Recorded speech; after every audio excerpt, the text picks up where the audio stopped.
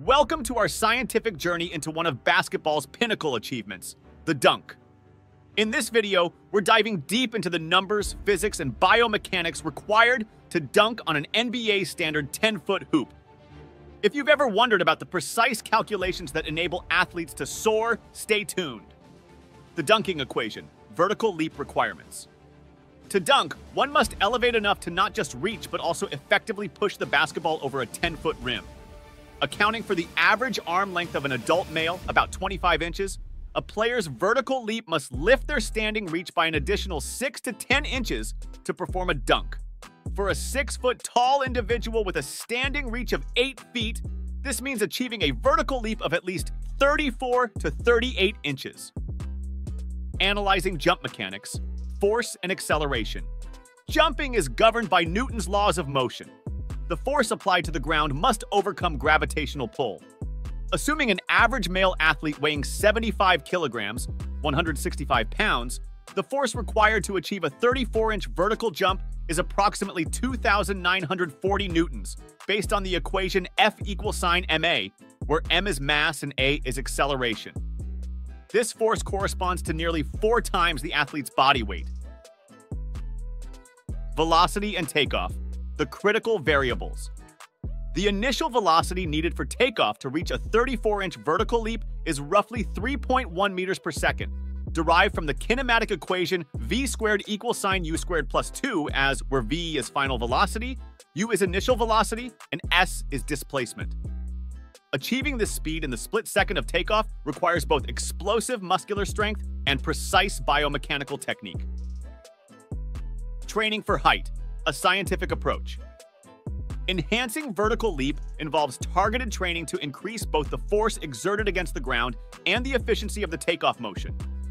Strength training components focus on maximizing muscle force through exercises like squats and deadlifts, aiming for a power output increase of 20-30% over a training period.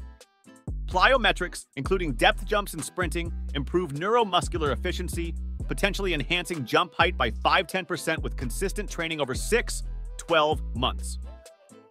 Comparative analysis. Athlete variability. Consider the variance in required jump heights across athletes of different statures. Spud Webb, at 5'7", needed a vertical leap exceeding 42 inches to dunk, a feat he achieved through extraordinary training and genetic predisposition. In contrast, a player standing 7 feet tall with a standing reach of 9.5 feet may only need a 6-inch vertical leap to dunk, highlighting the significant impact of physical attributes on the required performance metrics. The physics of takeoff, angle and distance. Optimal dunking also involves the correct takeoff angle, ideally between 45 to 55 degrees to maximize vertical and horizontal displacement. The distance covered during the takeoff phase directly impacts the achievable height, with longer approach distances allowing for greater acceleration and consequently, a higher leap. Analysis of elite dunkers shows an average approach speed of 5, 6 miles per second, translating to significant horizontal momentum converted into vertical lift. Conclusion and reflection. We've dissected the dunk from a scientific perspective, uncovering the exacting standards of force, velocity, and technique required to conquer the 10-foot barrier. The journey to dunking is a testament to the remarkable capabilities of the human body when physics, physiology, and dedication intersect. Now, we invite you to reflect. Which aspect of the dunking science fascinates you the most? Do you see the blend of strength, speed, and strategy differently now? Share your thoughts and insights in the comments below, and let's continue to marvel at the science behind the sport. Thank you for embarking on this scientific exploration with us.